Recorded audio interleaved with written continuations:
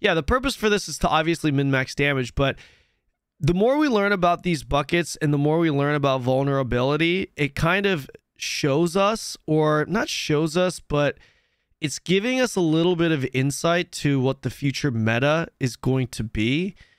And right now, it's looking like any class or spec that doesn't take advantage of vulnerability is just going to be extremely underpowered or at a at a, at a significant handicap compared to some of the other classes. Not only does it give you 20% extra damage, it's also in its own damage bucket. One of the biggest issues with ranged rogue is its lack of vulnerable application.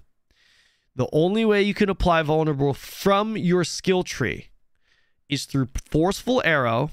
We're ruling puncture out because if you're trying to play rapid fire and penetrating shot at range, this is going to be kind of kind of wonky because you have to let because the when you use puncture, you've got knives that fan out, and it's difficult when you're at range to have at least two blades hit, or not difficult, but it can be a little wonky. It's not the best. Really leading you into forceful arrow. Well, if forceful arrow is my only option, this works well with combo points. Now it's leading you into playing combo points. So it's like right now, ranged rogue, you're being encouraged to play combo points and you're being encouraged to try and figure out ways to get vulnerable application. Outside of Forceful Arrow, you only have Concealment and Shadow Imbue. Shadow Imbue, not going to happen with single target boss fights. This is more mainly for leveling. You really want to go Poison late game, end game forget about shadow imbue then it's only concealment. Concealment like we just said isn't going to be super consistent. Sure the six second vulnerable applications is great but on a 20 second cooldown okay so it's like okay well how about we reduce the cooldown on this? Well then the game leads you back to twisting blades which is the only skill that reduces cooldowns. But then you're like okay well maybe we don't take combo points. Maybe we take preparation and the way preparation works which is the third combat stance every time you use a hundred energy. Hear me out. Hear me out. Every time you use a hundred energy, I'll pull this up so that you can see it.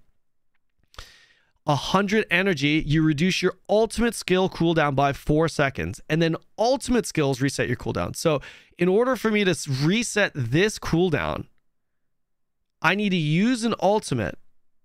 But in order for me to use an ultimate, I need to reduce that cooldown.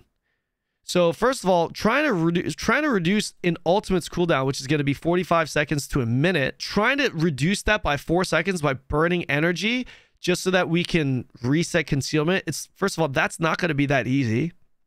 Second of all, what does that require? It's going to require us to spam our energy pool, right? Well, that's kind of an issue for ranged rogue. If we look at the key passive, you know what gives us energy regen? The melee key passive. You know what the ranged key passive gives us? More crit.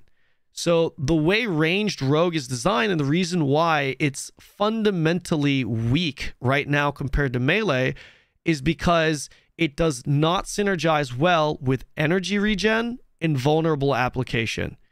That's the biggest issue. The best ranged skill for energy regen is rapid fire.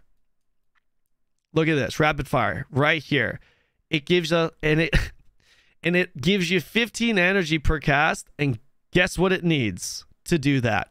It needs vulnerable okay?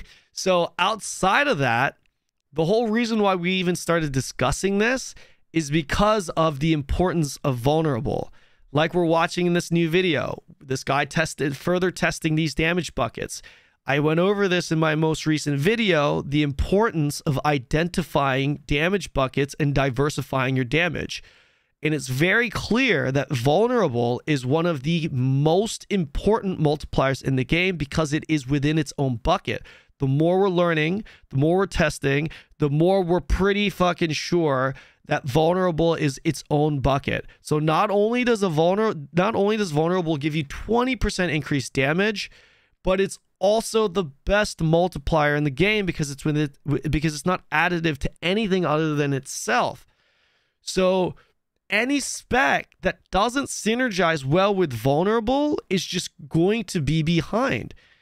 Now, on the other end, the reason why I tell my viewers that ranged does have potential is because ranged rogue does synergize with crit and crit damage. So if you can find vulnerable, then it has a lot of potential.